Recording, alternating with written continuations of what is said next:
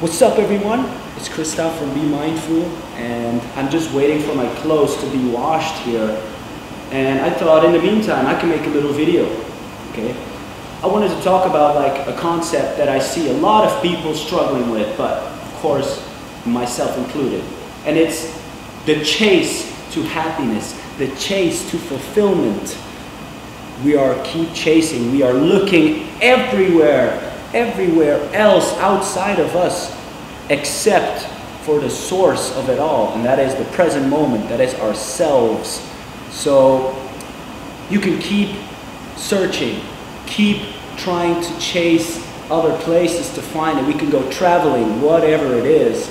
But I'm here to tell you, and you're going to be a little bit disappointed, I think, you will never be completely fulfilled.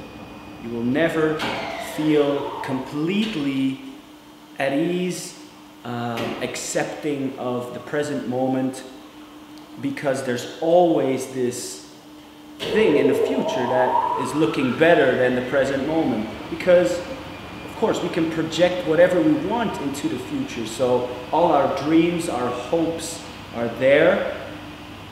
But as soon as we realize this, that you can never be completely fulfilled, that is when the magic starts to happen. You start to see like, well, if I can't ever be happy completely, fulfilled completely, then maybe I should start looking at the present moment, right here, right now.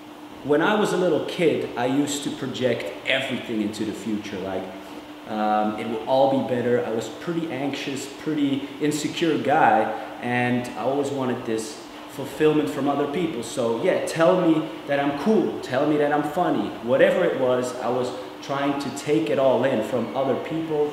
Also, when I was doing a certain activity, I wanted to just have the fulfillment and get better, a better feeling for myself, but not really, just the pure enjoyment. I didn't really enjoy it. It was just like, maybe if I do that, I will feel better. Maybe if I go surfing, I will feel better, etc., etc. So I've come to realize after a few years, because it's been a few years now, that you will never completely feel the fulfillment or the happiness that you project into the future unless you feel it right the fuck now. Right now. This is what matters most, okay?